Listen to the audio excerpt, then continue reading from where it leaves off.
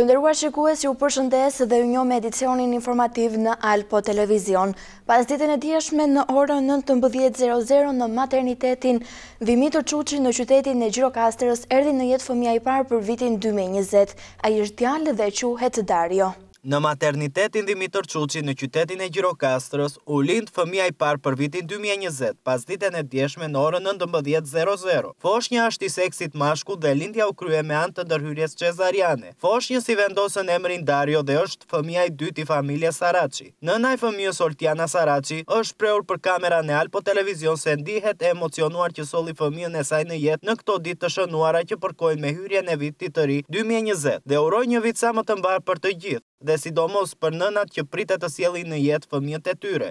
Ju sollët fëmijën e parë për këtë Vit të Ri në maternitetin e Gjirokastrës, si ndiheni për këtë gjë? Shumë e lumtur e emocionuar se është fëmija i dytë për mua. Nuk kam fjalë. Po për do një urim për këtë vit për nënat e reja dhe për ato nëna që do sjellin fëmijët.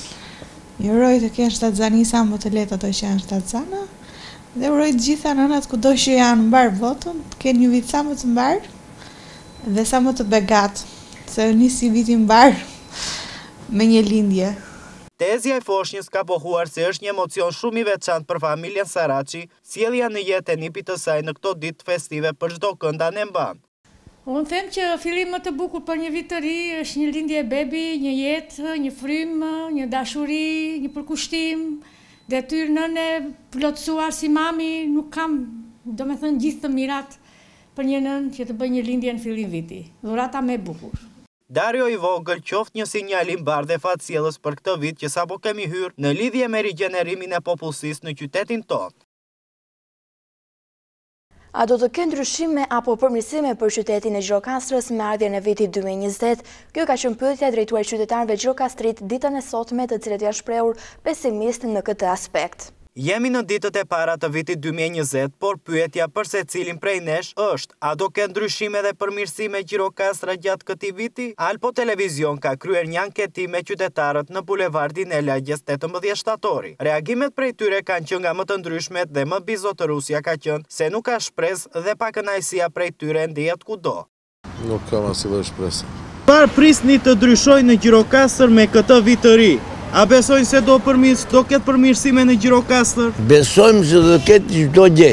Mendojmë se populli është popull edhe kërkon të drejtën e tij edhe udhëheqja e shtetit është detyruar të zbatojë kërkesat e popullit, edhe populli do kalojë mbarë. Ishalla mbase ndryshon. Ju keni besim se mund të ndryshojë diçka? Kam, kam shumë besim. Përse mendoni kështu? Po mendoj se dhe qeveria ecën çik, punon, sikur punon çik. Po si po sikur ka pak vonesa me këtë ecurinë e qeverisë, sikur ka çik. Ka ka vonesa. Po edhe nuk e lënë të punojë. Fukarallëk. Fukarallëk ka. Po. po dhe njerëzit nuk duan të punojnë. Besimin populli tërësisht Është është i pakënaqur edhe nuk ka shumë besim. Pse nuk e ka besimin për arsye sepse një vit të tërë nuk u kthye sikur sado pak një mirësi e saja. Prandaja unë për veten time, siç e mendoj, çdo gjë mund të bëhet dhe mund të realizohet Dy herë më shumë, dy herë më mirë, dhjetë herë më mirë. Pse? Varet nga personeli, varet nga ai që udhëheq, në qoftë se unë jam një person që e bëj punën me me plot dëshirë, atëherë ajo bëhet, po jo të bëj për vete, Ose të hidhem nga një krah në tjetrin, t'u bëj mirë të tjerëvet dhe keq t'i bëj popullit të tija. Kjo për shembull është negative dhe unë këtu nuk kam besim. Unë. Po ç'të bëjmë, po s'u rregullua deri tani kur të rregullohet? Të rregullohet kur të bëhemi më keq akoma? Organet kompetente, në rastin tonë Bashkia dhe Qeveria, duhet t'i japin maksimumin për t'i rikthyer besimin qytetarëve. të cilët i kanë votuar dhe i kanë zgjedhur për t'i udhëhequr drejt prosperitetit dhe një të ardhme më të mirë për komunitetin, sepse kjo është në favor si për këta të fundit dhe për klasën politike e cila drejton aktualisht. Qoftë viti dy mijë e njëzet një vit ndryshe nga ato që kaluan, por kjo mbetet për t'u parë në të ardhmen e afërt. Një sasi heroine prej pesëqind e pesëdhjetë e pesë gramësh është sekuestruar sot nga forcat e kufirit në pikën doganore të Kakavijes. Në pranga ka rënë një shtetas pesëdhjetë e nëntë vjeçar me inicialet BR. Ditën e sotme policia kufitare ka sekuestruar dy pako me heroinë gjithësej pesëqind e pesëdhjetë e pesë gramë. Shërbimet e Policisë Kufitare në zbatim të planit të posaçëm të masave për rritjen e kontrollit me qëllim parandalimin, evidentimin dhe goditjen e tentativës për trafikim të lëndëve narkotike, duke përfituar edhe nga fluksi si dhe në bazë të analizës së riskut në dalje të Republikës së Shqipërisë, kanë përzgjedhur për kontroll të imtësishëm në vijën e dytë automjetin në pronësi të shtetasit BR. pesëdhjetë e nëntë vjeç, banues në Berat. Pas verifikimeve dhe kontrollit të ushtruar në automjet nga punonjësit e Policisë Kufitare në çantën e tij personale u gjetën dy pako me lëndë të dyshuar narkotike heroinë me peshë totale pesëqind e pesëdhjetë e pesë gram. Veprimet hetimore dhe procedurale të mëtejshme u kryen nga specialistët e Seksionit të Hetimit të Narkotikëve në Drejtorinë Vendore të Policisë Gjirokastër, të cilët bënë arrestimin në flagrancë të shtetasit BR për veprën penale trafikimi i lëndëve narkotike.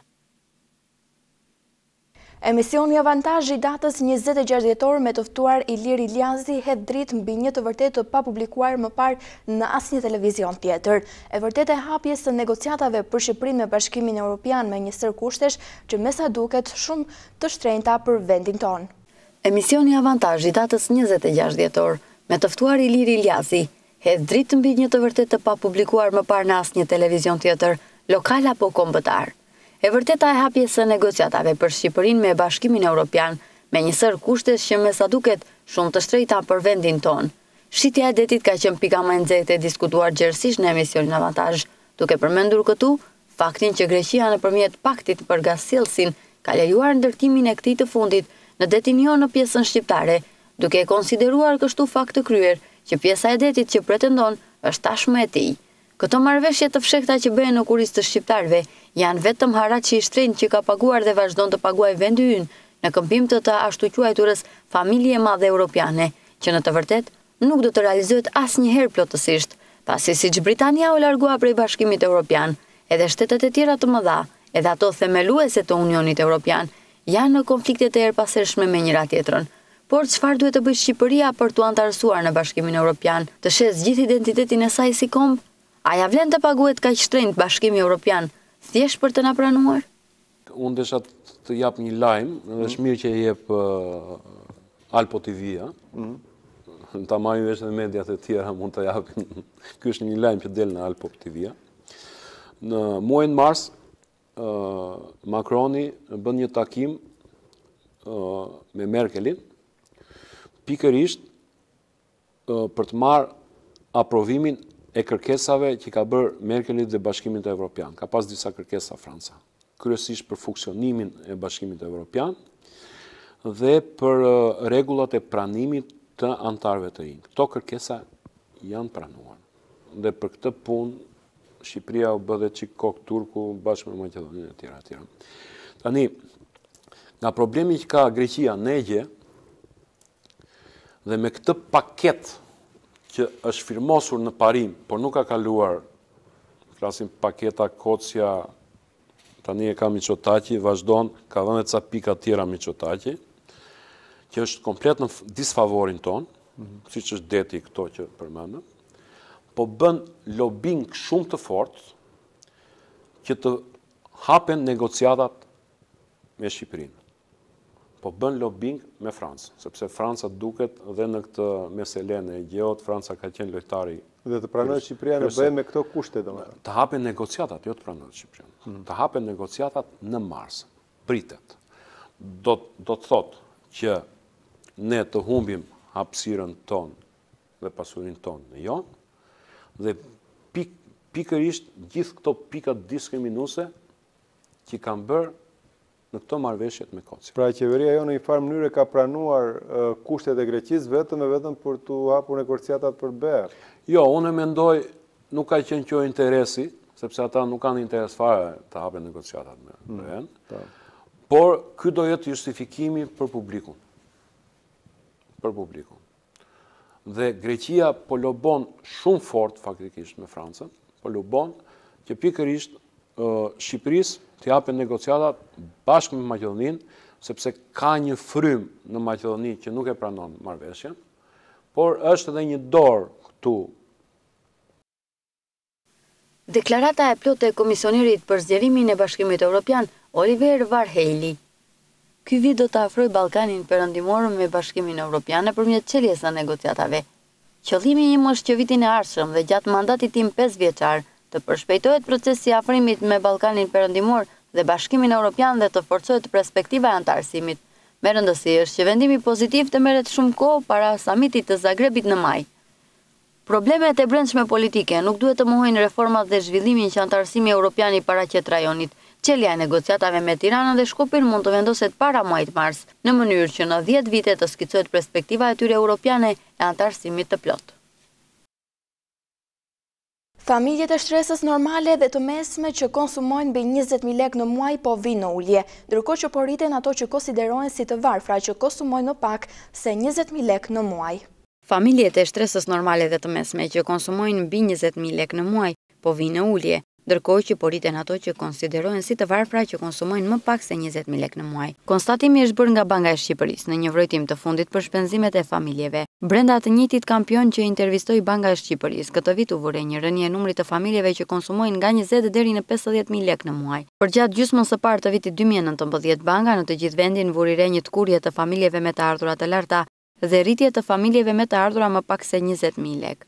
Rreth pesëdhjetë pikë katër për qind e të përgjigjurve vijojnë të deklarojnë shpenzime mujore në nivelin njëzet deri në pesëdhjetë mijë lekë dhe kjo peshë ka rënë me dy pikë përqindje krahasuar me gjashtë mujorin e kaluar. Nga ana tjetër, pesha e familjeve që deklarojnë shpenzime në nivele të larta ka shënuar rënie të lehtë me terma gjashtë mujor dhe me terma vjetor. Prirja e kundërt vihet re në rastin e dy grupeve me nivelet më të ulëta të shpenzimeve me më shumë se katër për qind.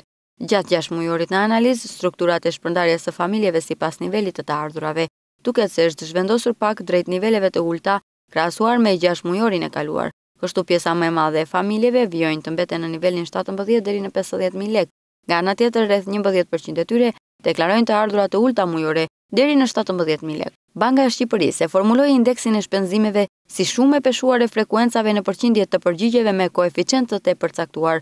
për çdo interval si në vijim, deri në dhjetë mijë lekë me zero pikë dy, dhjetë deri në njëzet mijë lekë me zero pikë katër dhe njëzet deri në pesëdhjetë mijë lekë me zero pikë gjashtë. Vlerat e marra për çdo vit janë kthyer në indeks me bazë vitin dy mijë e dhjetë.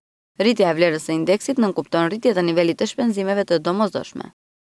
Do të ndalemi tek parashikimi i motit. Moti i qëndrueshëm do të vazhdojë të na shoqërojë edhe ditët e para të vitit dy mijë e njëzet. Sipas IGJEUM orët e para të së premtes do të jenë në kushte të qëndrueshme atmosferike duke bërë që kthjellimet të mbizotërojnë. Por në orët e pasdites dhe në vijim parashikohet një shfaqje e vranësirave kryesisht në juglindje të territorit. Temperaturat e ajrit do të rriten në mëngjes dhe në mesditë, duke luhatur vlerat ekstremale ditore nga minus tre deri në dhjetë gradë celcius. Era do të fryjë mesatare në tokë dhe në det me shpejtësi tridhjetë kilometër në orë, nga drejtimi veri-verilindor duke krijuar në det dallgëzim dy ballë. Temperaturat minimale dhe maksimale të ajrit pritet të arrijnë në bregdet tre deri në njëmbëdhjetë gradë celsius, në vendet e ulëta një deri në dhjetë gradë celsius dhe në vendet malore minus tre deri në pesë gradë celsius. Era do të fryjë lehtë deri në mesatare. Ndjekim një blok informativ nga bota.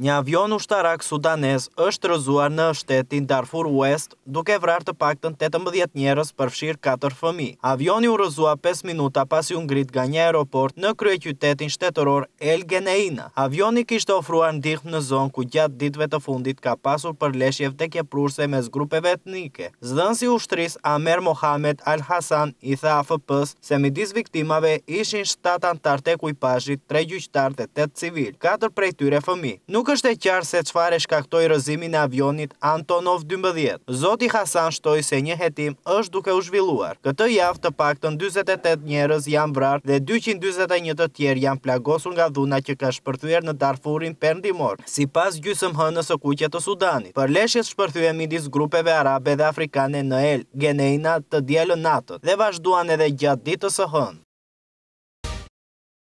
Vrasja e gjeneralit të Forcave Revolucionare në Iran ka shkaktuar reagimin e shumë liderëve politikë. Sekretari i Shtetit amerikan Mike Pompeo ironizoi vdekjen e tij me një postim në Twitter, një video ku shfaqeshin dhjetra qytetarë iranianë që ecnin në rrugë duke valvitur flamurin kombëtar, irakianët duke kërcyer në rrugë për liri, mirënjohës që gjeneral Soleimani nuk është më, shkruan Pompeo në tweet. Por vrasja e gjeneralit nuk ka qenë festë për të gjithë. Zyrtarë të lartë të Iranit kanë reaguar ashpër duke dënuar ngjarjen dhe zotuar për hakmarrje ndaj Shteteve të Bashkuara të Amerikës. Lideri suprem i Iranit Ajatollah Ali Khamenei deklaroi se qeveria do të marrë hak ndaj atyre që vranë përfaqësuesin e rezistencës. Presidenti i vendit Hassan Rouhani deklaroi se Irani dhe të gjithë shtetet e lira do të hakmerren ndaj SHBA-ve. Ne do të bëjmë rezistencë ndaj përpjekjeve të SHBA-ve për t'u zgjeruar dhe do të mbrojmë vlerat tona islamike, deklaron Rouhani. Ndërkohë, ministri i Jashtëm iranian Mohammad Javad Zarif i konsideron veprimet e Shteteve të Bashkuara të Amerikës shumë të rrezikshme dhe me pasoja të rënda. Në një postim në Twitter ai shkruan se Shtetet e Bashkuara të Amerikës janë përgjegjës për të gjithë pasojat që do të sjellë ky sulm në këtë rajon. Sipas tij, Irani dhe specifikisht Soleimani ka luajtur një rol shumë të rëndësishëm në luftën në Siri, duke mbështetur regjimin e Bashar al-Assad.